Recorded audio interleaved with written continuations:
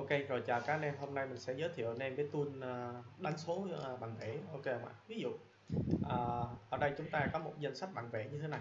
Ok rồi, thì ở thì ở đây mình sẽ giới thiệu cho anh em trước về cái cái cơ bản trong cái cái Grasshopper để chúng ta khai báo. Ví dụ ở đây chúng ta có clip đúp vào chúng ta có bằng vẽ ở Việt Nam này, ví dụ có kết cấu này, ví dụ chúng ta có mặt bằng móng này chẳng hạn thị chữ móng này rồi chúng ta gạch dưới, ok mà rồi ví dụ ở đây chúng ta sẽ khai báo nó kiểu trình tự như này kết quả sẽ trả bên này ha.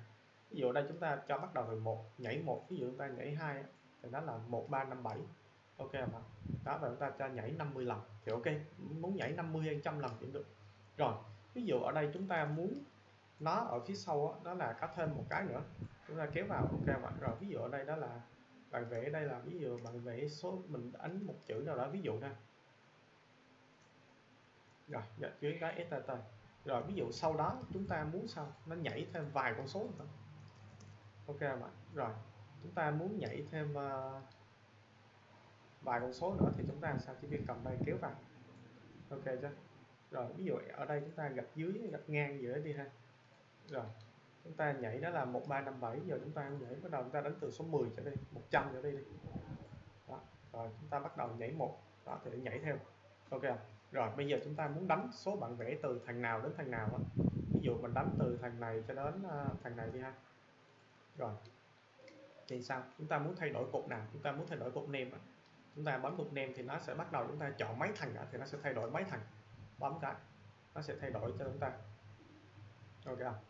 Đó từ 100 tại vì chúng ta chọn ờ, uh, 8 thằng thì tính từ 0 đến 7 nó sẽ tính đây còn phía sau không quan tâm ha.